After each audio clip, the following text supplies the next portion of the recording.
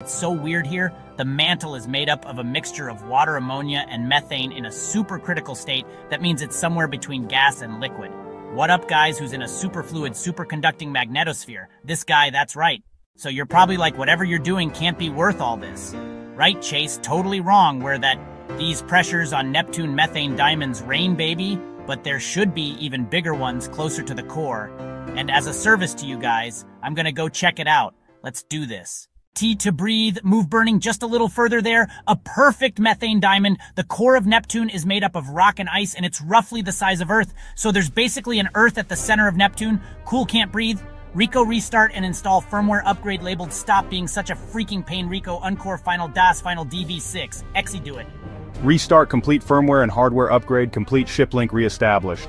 Yes, yes, now you're online. I'm dying, Rico. Get me out of here, baby.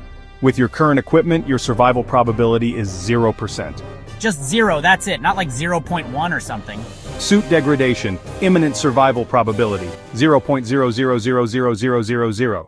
Alright, Chaz, it's not looking good for me. I don't think I'm going to make it out, but